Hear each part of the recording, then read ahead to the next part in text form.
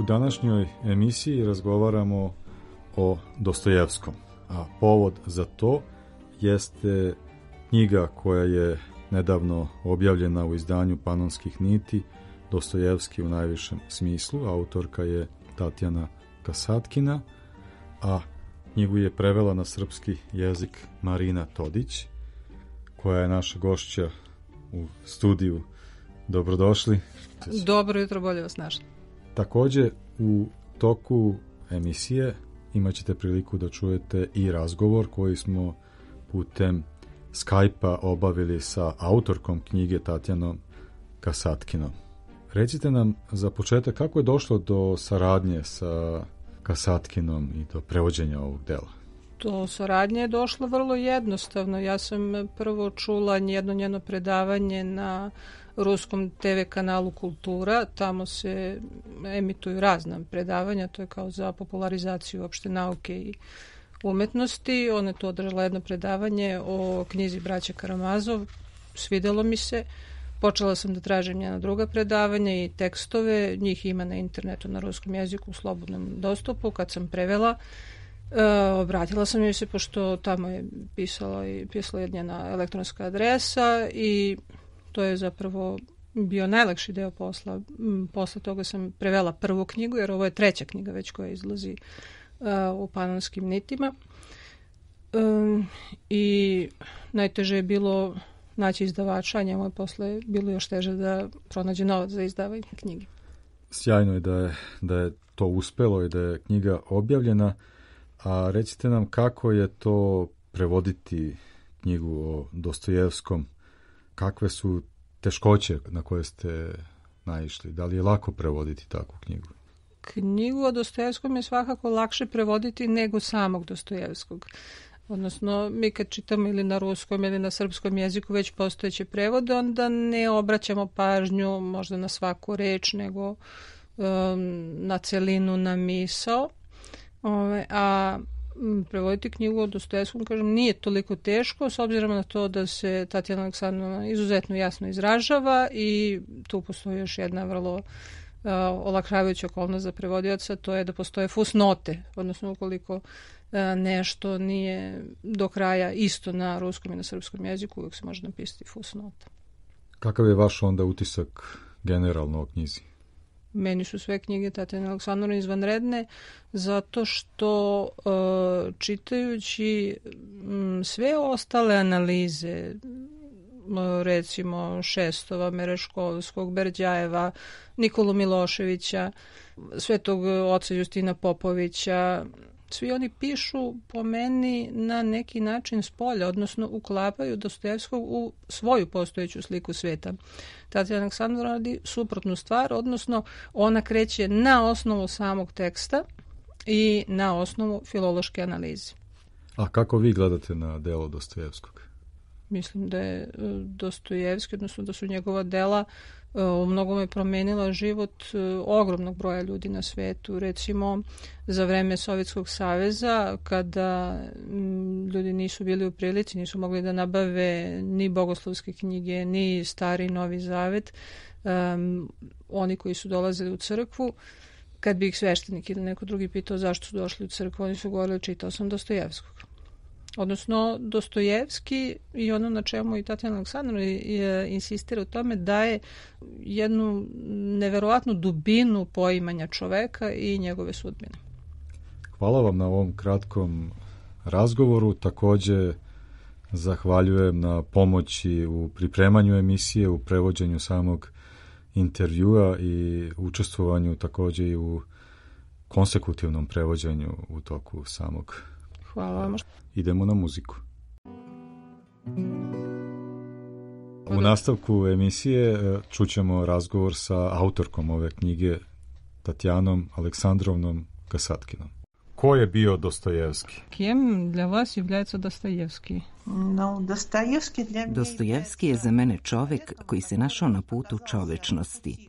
Čovek koji ide ispred ljudi i pruža ruku onima koji idu iza njega – To mu je pošlo za rukom zato što se vrlo rano suočio sa smrću i više nikad nije zaboravio da je čovek smrtan i da se sa smrću ili sve završava i u tom slučaju je život besmislen ili sa smrću sve tek počinje i onda je to život.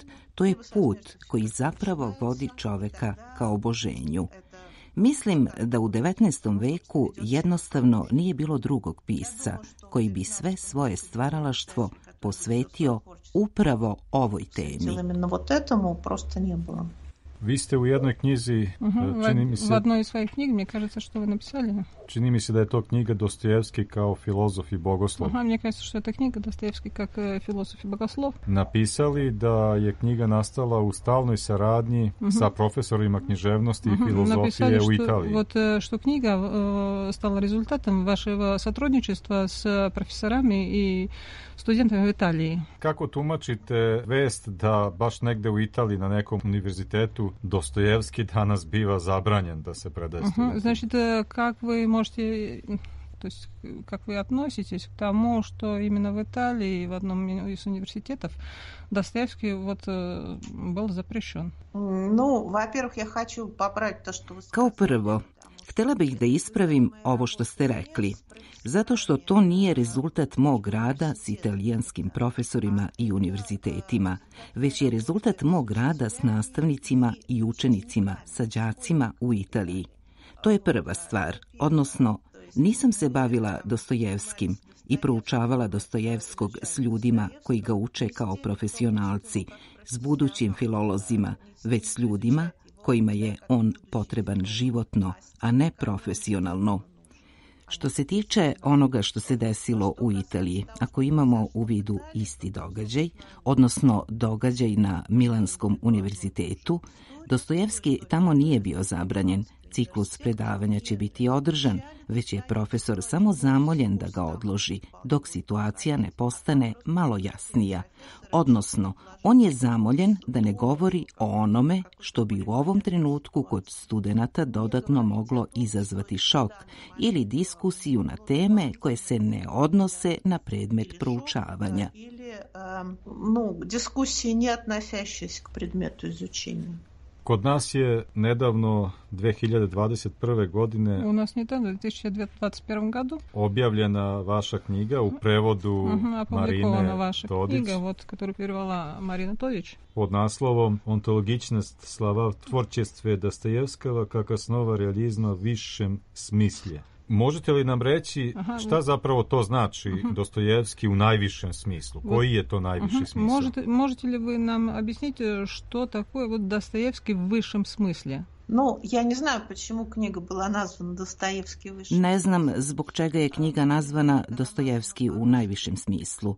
U knjizi, onako kako ona nosi naslov na ruskom, radi se o tome kako Dostojevski definiše realizam, odnosno svoj tip stvaralaštva. I on govori o tome da nije psiholog, već realista u najvišem smislu, odnosno prikazuje sve dubine ljudske duše. Zbog toga knjiga nosi takav naziv, zato što je to knjiga o stvaralačkoj metodi Dostojevskog. A kako vidite ontologičnost kod Dostojevskog? А вот э, каким способом вот, вы видите антологичность у Достоевского? Но опять-таки не онтологичность, э, а онтологичность Opet, слова. ne radi se o ontologičnosti, već o ontologičnosti reči. Radi se o tome da Dostojevski reč uvek koristi bez redukovanja, na neki konkretan kontekst. Na taj način reči koriste njegovi junaci, a Dostojevski pritom reč koristi u njenom celokupnom smisaonom obimu, nikad je ne redukujući na konkretan kontekst i tako kod Dostojevskog skoro uvek, možda s izuzetkom romana Zločin i kazna, ne govori autor, već junak ili narator. Tako se ispostavlja da Dostojevski kao autor uvek ima veliko smisaono polje reči na raspolaganju. I kad se reč aktualizuje, ona upravo stvara dubinu teksta Dostojevskog. Раз. Zašto i kako treba čitati Dostojevskog? Почему и как э, надо читать Достоевского? Dostojevskого надо читать, если есть такая потребность. Čovek treba da čita Dostojevskog ako ima takvu potrebu. Ni iz daleka nemaju svi ovu potrebu. Nekima je Dostojevski čak i odbojan. To su po pravilu ljudi koji svoj život organizuju onome što je Dostojevski nazvao nasušnim, vidljivo, tekućim, odnosno svakodnevnim i prolaznim i koji nisu skloni tome da svoj život razmatraju na drugim nivoima, koji nisu skloni tome da postavljaju pitanja o svom životu, o krajevima i počecima, o onome što je bilo i što će biti kasnije. Ovakvim ljudima je izuzetno bolno da čitaju Dostojevskog. To su zapravo ljudi kojima nije svojstveno da razmišljaju na dubljim nivoima i kojima nije svojstveno da razmišljaju o krajevima i počecima. Oni po pravilu izjavljuju da ne vole da čitaju Dostojevskog zato što ih on izmešta iz udobnosti, iz izvesne uređenosti, iz izvesne razumljive situacije, čak i ukoliko je ona vrlo siromašna. Možda to nije život kojim je čovek zadovoljan, ali mu je ipak shvatljiv, a Dostojevski čoveku otkriva dubine koje neki ljudi uopšte ne žele da vide. Zbog toga je logično da Dostojevskog čitaju oni koji žele da shvate čoveka u njegovim pravim dimenzijama. Dostojevski je sebi još kao 17-godišnjak postavio zadatak da shvati čoveka. U celom svom stvaralaštvu ga je istraživao i da bi čovek čitao Dostojevskog, treba da želi isto. Treba da želi da shvati šta je zapravo čovek. Šta je čovek koji nije ograničen okvirima zemaljskog života i koji nije ograničen nikakvim drugim okvirima, i nikakvim uobičajenim predstavama. Nikakvim привычными представлениями. Kako se može protumačiti Dostojevski? A kako možno istolkovati Dostojevskого? U smislu odgovora na pitanje taj je čovek. U odnosno, smislu ответа na вопрос što такое человек. Kako razlučiti šta Dostojevski misli, šta je čovek? То есть как От... отличить то, что Достоевский думает о том, что есть человек, u odnosu na ono šta kažu njegovi likovi o tome šta je čovjek. В отличие от того, что о том, что такое человек, говорят его герои. Герои говорят очень разно. Junaci govore vrlo različite stvari i oni redko rasuđuju neposredno na zadatu temu. Šta je čovek? Kako Dostojevski shvata čoveka najneposrednije i najočiglednije se može videti iz teksta koji nije nameravao nigde da objavi i koji je napisan nad kovčegom umrle prve žene. Maša leži na stolu. Da li ću se videti s Mašom? Odnosno, ovo je razmišljanje upravo o čoveku, koji između ostalog prevazilazi granice ograničenosti smrću i to je na izvestan način viđenje čoveka u drugom obimu. Dostojevski to formuliše i na sledeći način. Bićemo lica ne prestajući da se slivamo sa svima. Lice je ovde imenica. Ovo kaže zato što glagol licija i lica zvuče isto na ruskom. I on na izvestan način prikazuje čovečanstvo s jedne strane kao izvesnu celinu, a s druge strane ova celina se sastoji od lica, odnosno iz intelektualnih, čulnih i voljnih centara od kojih je svaki delatan, od kojih je svaki u stanju da povede za sobom ovo ljudsko telo koje se prostire van granica vasione, odnosno kod Dostojevskog predstava o razmerama čoveka podrazumeva dimenzije koje su ograničene isključivo granicama svega. Čovek je sve i čovek ne može biti ništa manje, koliko god da je ponižen i koliko god da se sam ponižava. Osim toga, čovek nikada ne može da se izdvoji.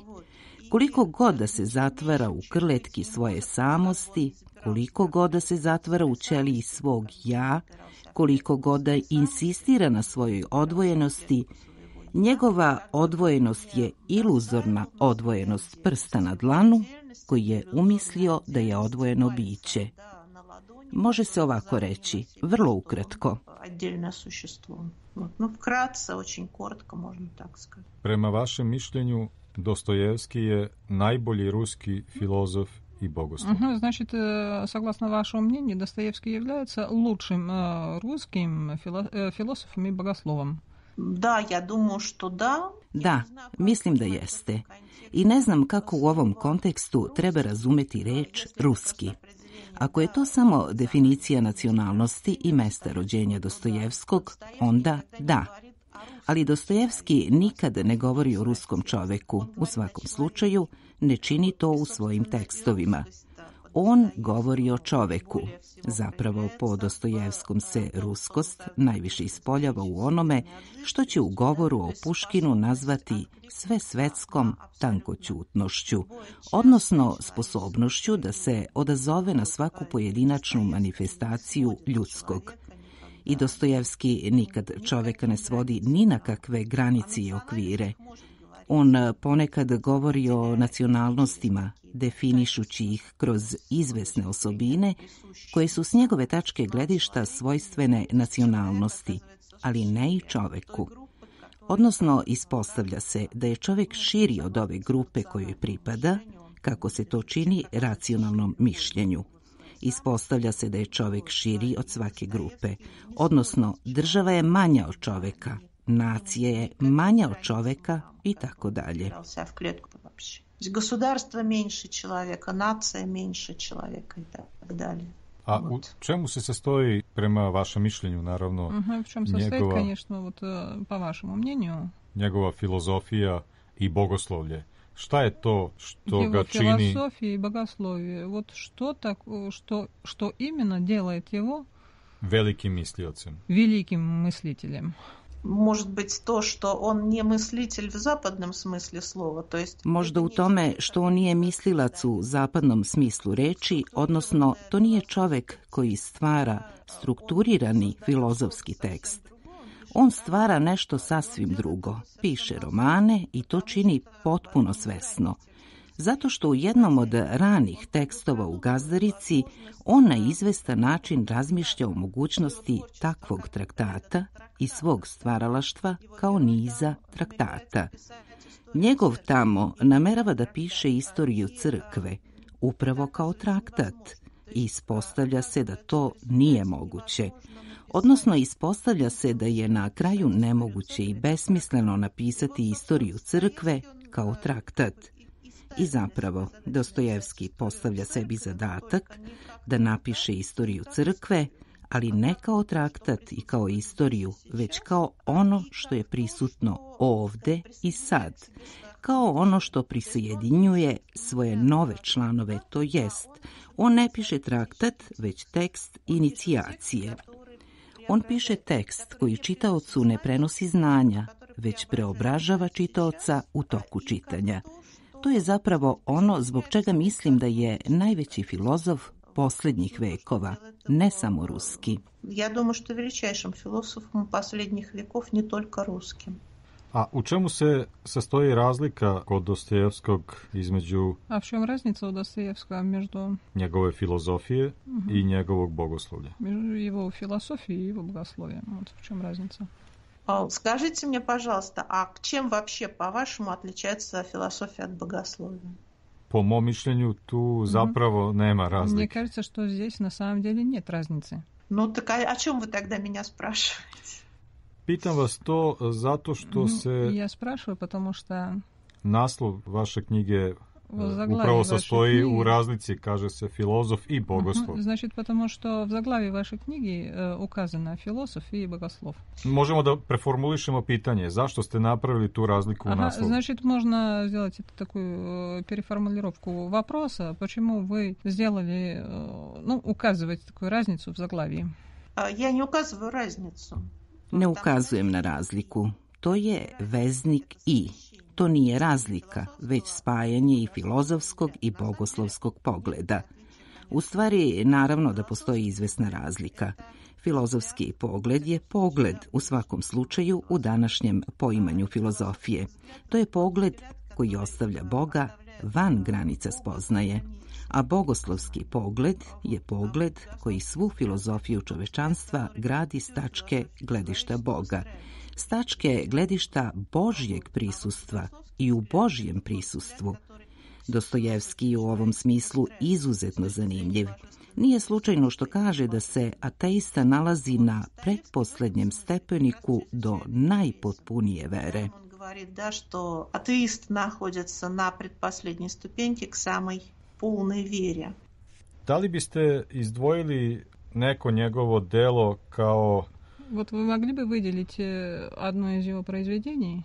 reprezentativno upravo za pogled na Мгм. svet? Ну, как, э, так сказать, вот так представительное для философской... э, богос- Bogoslovski. Filozofsko-bogoslovski pogled na svet. Мгм. Для его вот именно философского и э, богословского взгляда на мир. Да, особо выделить ничего нельзя, потому что они все такие. Ništa se ne može posebno izdvojiti, zato što su sva takva.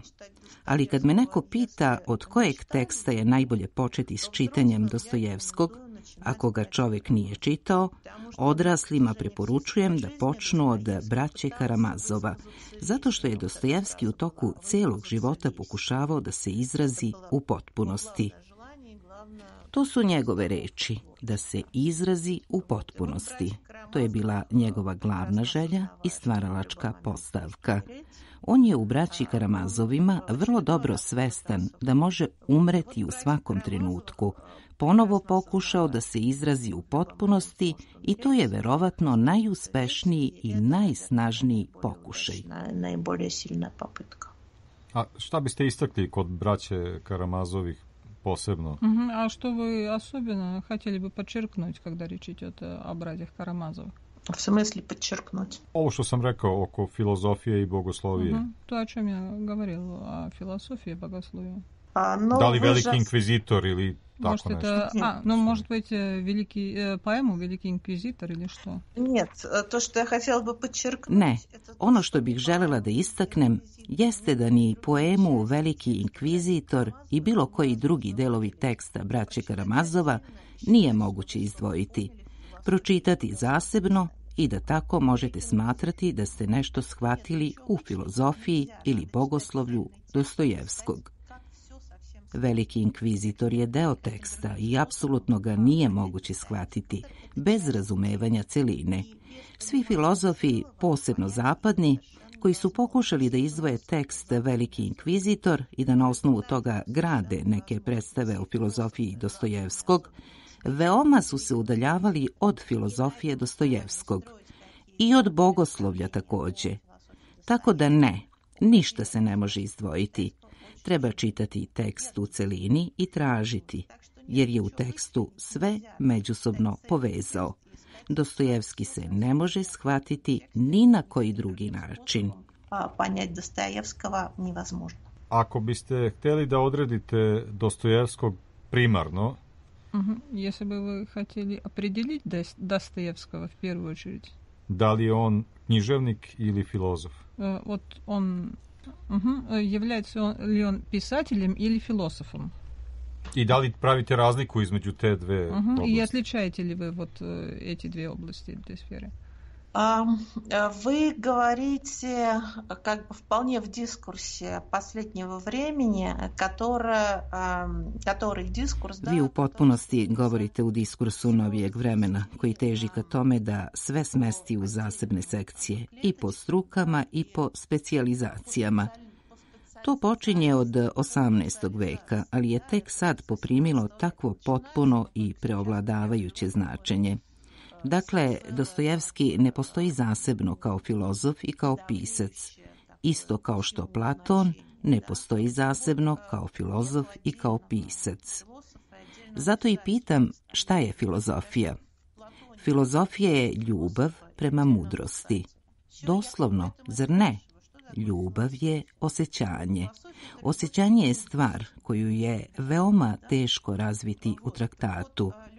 Osjećanje je stvar koju je praktično nemoguće preneti posredstvom traktata, dok se posredstvom umetničkog teksta upravo osjećanje vrlo dobro može preneti. Zapravo, umetnički tekst i umetnost uopšte je stvorena da bi se mogla preneti osjećanja. I sama estetika, estetsko, estetikos na grčkom prvobitno znači ono što se može osjetiti čulima.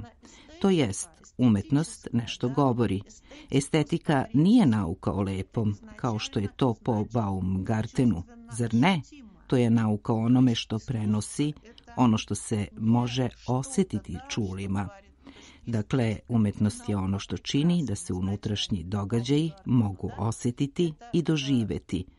Ono što se u traktatu izlaže kao izvesna filozofska tvrdnja, izvesna maksima ili dogma. Razlika se zapravo sastoji u tome.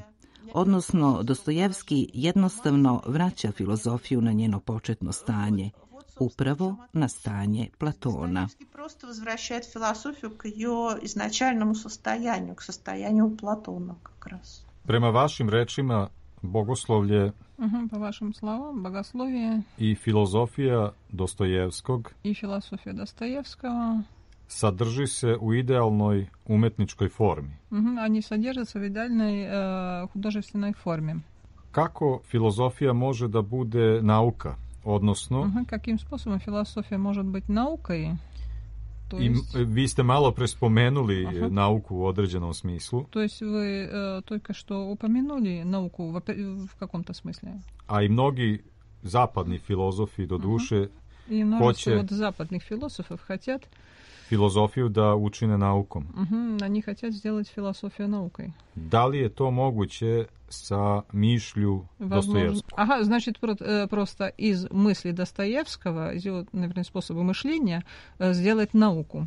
Значит, когда философию начали пытаться сделать наукой, Dakle, neki su pokušali da pretvore filozofiju u nauku, a to se takođe dešava od 19. veka. Naučnost kao tip svesti i naučnost kao pozitivizam.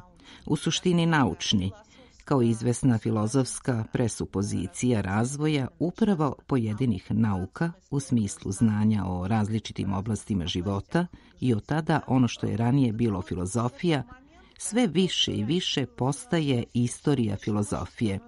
Zato što se naučno može proučavati istorija filozofije, odnosno može se govoriti o različitim tipovima filozofskog diskursa, o različitim tipovima filozofskog mišljenja i tako dalje, ali se ne može naučno filozofirati. I to je izuzetno zanimljiva stvar, jer čim filozofija i gde god da filozofija poželi da postane nauka, filozofski fakultet se od mesta na kojem se filozofira pretvara u mesto gde se razgovara o već formiranim filozofskim diskursima. Zato je u tom smislu da, moguće govoriti o Dostojevskom isto kao i o bilo kom drugom filozofu, ali to znači da više ne filozofiramo i to znači da ono što nam Dostojevski prenosi ne doživljavamo u ovom živom međusobnom dejstvu. A to znači da želimo da se maksimalno distanciramo od naučnog izučavanja filozofije uopšte, to je uvek pokušaj i potreba da se maksimalno distanciramo od žive filozofske reči, zato što joj je teško prepričati. Zbog toga je filozofija kao nauka, kao prvo, uvek odricanje od filozofiranja, odnosno njom se dalje bavi istoričar filozofije, a ne filozof. I u principu, kad bismo to razlikovali i kad istoričare filozofije ne bismo nazivali filozofima, ne bi bilo ove poteškoće s kojim se sada suočavamo. то у нас не было бы и вот нынешнего затруднения, с которым мы сами сейчас столкнулись. Može li se govoriti o nekim uticajima na Dostojevskog, Мгм, Можно ли говорить о влияниях на Достоевского? na primjer Solovjov? М, Допустим, вот Соловьев. На самом деле, э, когда Kad se upoznaju 50-godišnji, ne prosto 50-godišnji čovek koji u životu nije razmišljao o filozofiji, već 50-godišnji Dostojevski, koji je do tada napisao većinu svojih ključnih tekstova, i 20-godišnji mladić, nipošto ne može biti reči o ovakvom uticaju. Radi se o sledećem. Istraživači koji proučavaju Dostojevskog i Solovjova, a to su obično istoričari filozofije koji čitaju tekstove Solovjova o Dostojevskom i čitaju Solovjova koji diskursivno, u svakom slučaju prilično diskursivno filozofira, odnosno on ipak piše traktate, iako pred kraj života počinje da piše, odnosno pokušava da piše i umetničke tekstove, istoričarima koji se zapravo bave filozofijom Solovjova, a zatim kroz ovu prizmu gledaju na Dostojevskog, je mnogo jednostavnije da nešto vide kod Solovjova u njegovom tekstu, u traktatu, nego da nešto sagledaju kod Dostojevskog u njegovom vrlo složenom i vrlo višeplanskom umetničkom tekstu. Zato im se čini da je, ako su zapazili nešto kod Dostojevskog, nakon što su to pročitali kod Solovjova, to bilo zato što je Solovjov uticao na Dostojevskog. U stvari Solovjov je jednostavno u diskursivnoj formi, odnosno u formi traktata, u formi koja je razumljiva istoričarima filozofije, napisao nešto što odavno postoji u tekstovima Dostojevskog. Po pravilu se ovo dešava. Вот, как правило, это такое соотношение. I za kraj, možete li da nam kažete И в заключение вы можете сказать нам, da li je knez Miškin bio filozof? ага, был ли князь Мишкин философом? Ну, во всяком случае, он себя таковым заявлял. Он говорит, да, ну да. U svakom я- slučaju to je tvrdio za sebe. On kaže, da, mislim da sam filozof i mislim da sam delimično došao da poučavam, ali opet treba imati u vidu da je filozof onaj ko voli mudrost, a ne onaj ko se bavi istorijom filozofije. U tom smislu je naravno Miškin filozof, odnosno filozof je u ovom slučaju čovek koji svaku životnu pojavu vidi na njenoj maksimalnoj dubini. Mislim da je to realna definicija čoveka filozofa, čoveka koji voli mudrost, koji se trudi da svaku pojavu s kojom se sretne vidi na njenoj maksimalnoj dubini. I u tom smislu je knez Miškin bezuslovno filozof. Samo zato što smo opet izvrnuli reči i pojmove i filozofima nazivamo neke sasvim druge ljude. Zbog toga nastaju takva pitanja. Поэтому возникают такие вопросы. Уважаемая Татьяна, я вам очень благодарю на разговор. Да, я рада, что мы наконец встретились все-таки, да. Вот. Хорошо, спасибо огромное. Я надеюсь, это будет снова наша встреча. Хорошо, попробуем. Хорошо, спасибо огромное еще раз. Спасибо, Да. спасибо и от меня большое. Всего доброго. pojmov.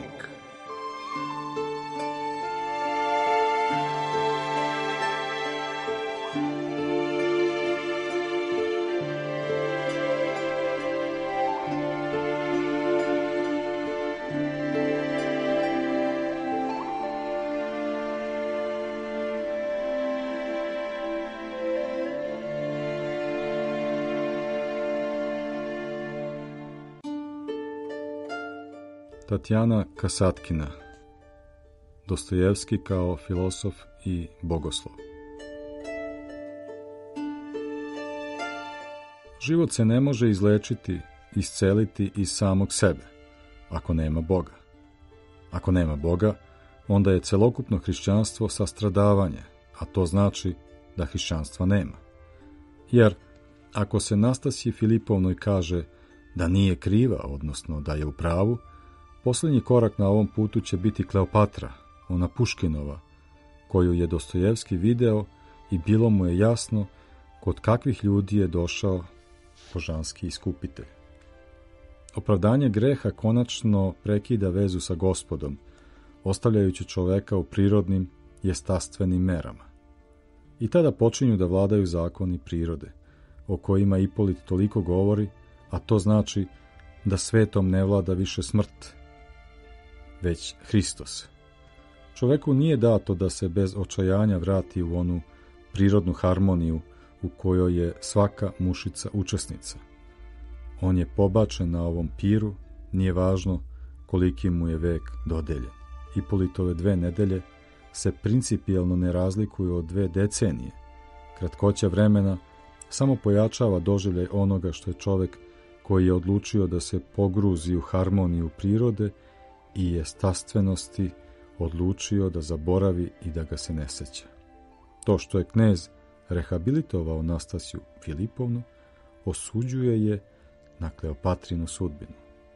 I Ipolita ovo zaustavljanje života u granicama zemaljskog života osuđuje na zločin, jer je to jedino delo koje još uvek može da stigne da završi i zahvaljujući kojem će se sačuvati sećanje na njega, a zemaljsko sećanje u odsustvu besmrtnosti postaje najveća vrednost za ličnost.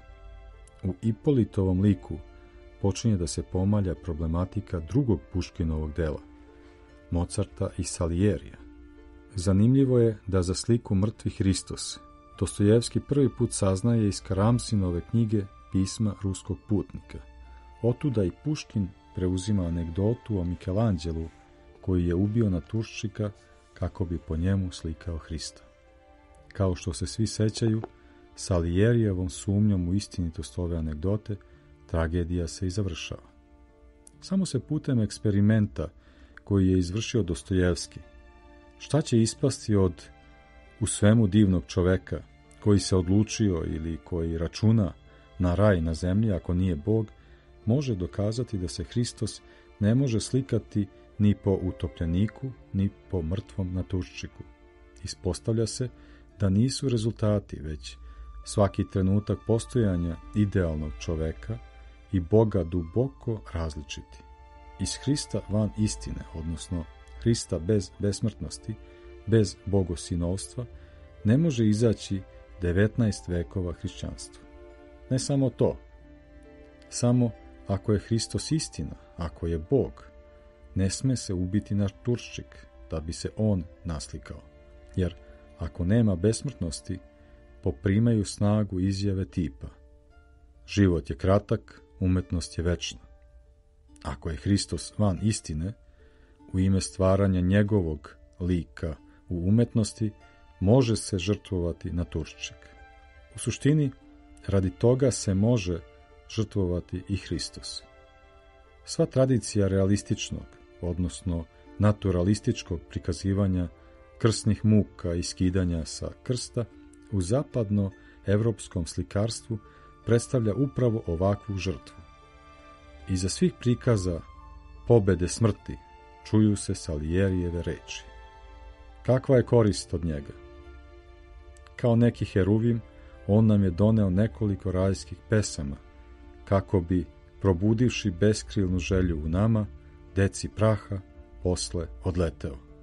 Leti onda, što pre, to bolje. Napisavši roman Idiot, Dostojevski je dobio pravi odgovor. Sad je za njega umetnički bilo dokazano da su biti sa Hristom i biti šaka praha dve nespojive stvari.